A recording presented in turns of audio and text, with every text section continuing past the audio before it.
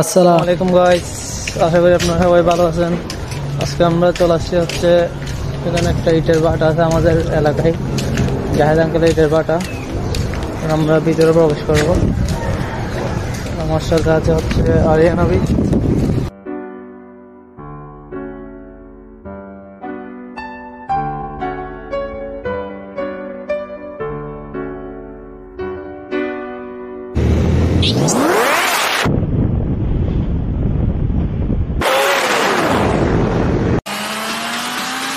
know.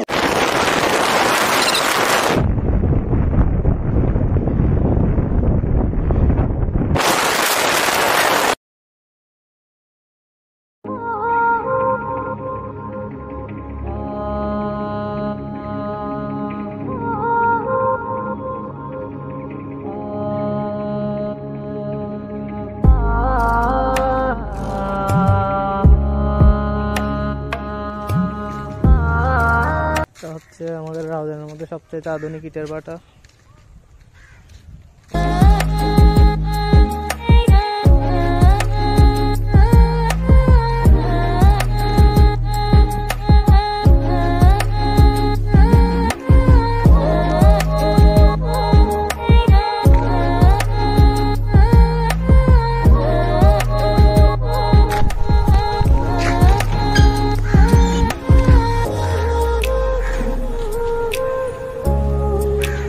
হচ্ছে কাঁচা ইট রোদের মধ্যে শুকাতে দেওয়ানো হয়েছে।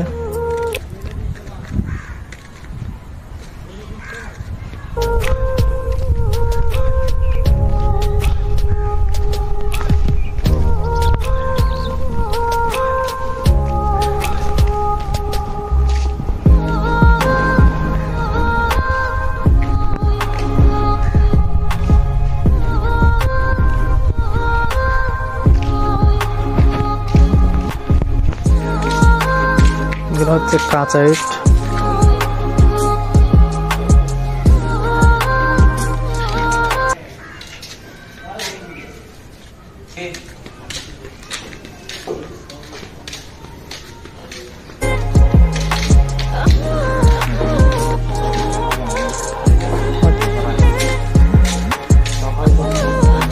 এখানে ভিতরে ইটগুলো রাখা হয়েছে, এগুলো হচ্ছে, পোড়া হয়েছে, পুরো গরম গরম। সব এগুলো কিছুক্ষণ আগে হয়েছে।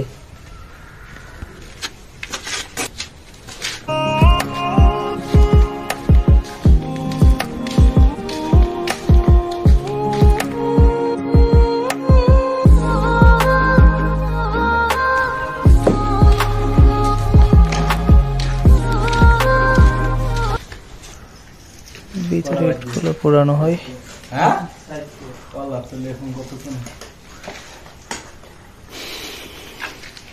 30 gram. Bak.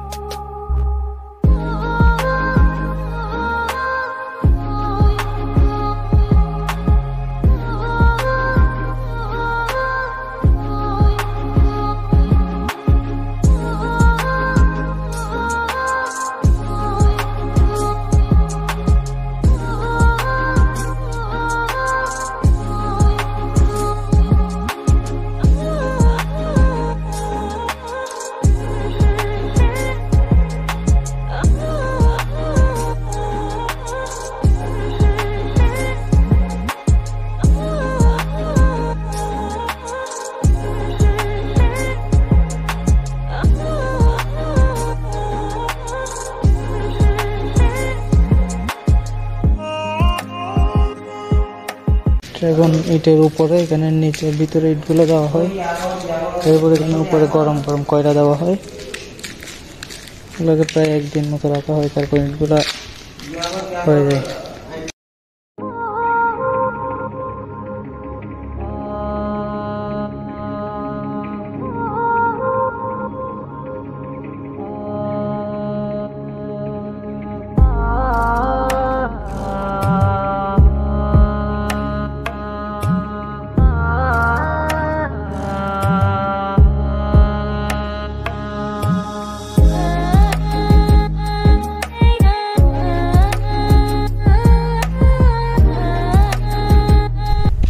সুড়ঙ্গ, এখানে যেদিক থেকে ইটগুলা বানানো হয় ওই দিক থেকে এগুলোর মাধ্যমে এদিকে আসে ইটগুলা।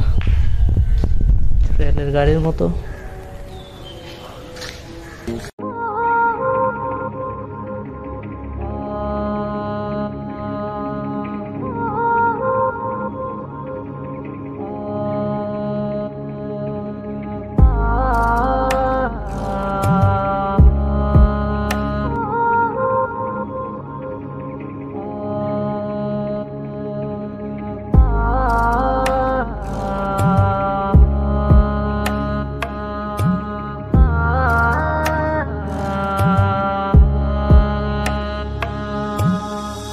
সবগুলা মাটি ক্রেনের মাধ্যমে মাটিগুলো এদিকে একটা মেশিন আছে এখানে।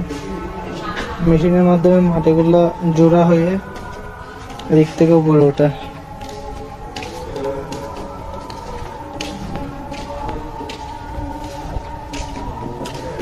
সামনে আরেকটা মেশিন আছে, এটার মাধ্যমে ফিল্টার হয় মাটিগুলো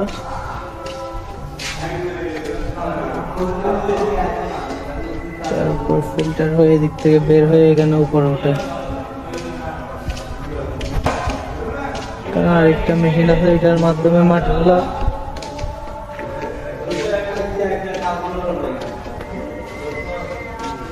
ফিল্টার হয়ে ঘুরতে ঘুরতে এদিক থেকে উপরে ওঠে।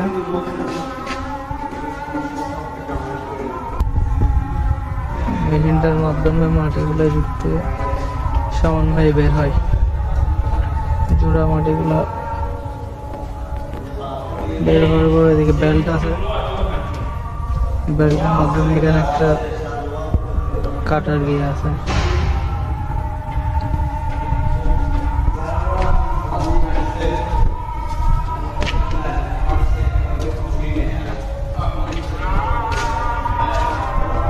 মাধ্যমে মাটিগুলো কাটা হয় এবং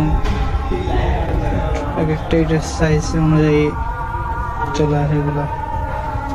বেল্টের মাধ্যমে এদিকে চলে যায়। এখান থেকে বিভিন্ন গাড়ি করে যেখানে পোড়ানো হয় সেখানে নিয়ে যাওয়া হয়।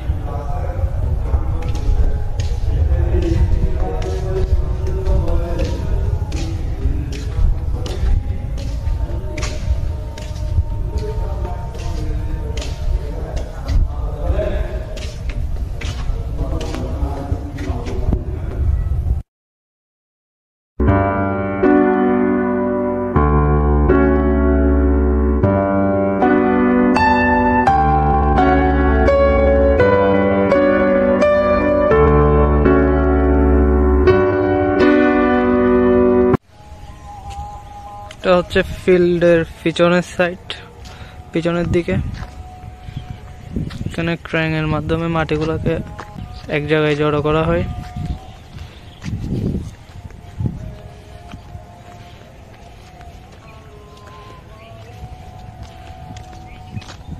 মাটিগুলো নেওয়া হয় হচ্ছে হালদা রিভার থেকে। এখানে পিছনে হচ্ছে হালদা রিভার।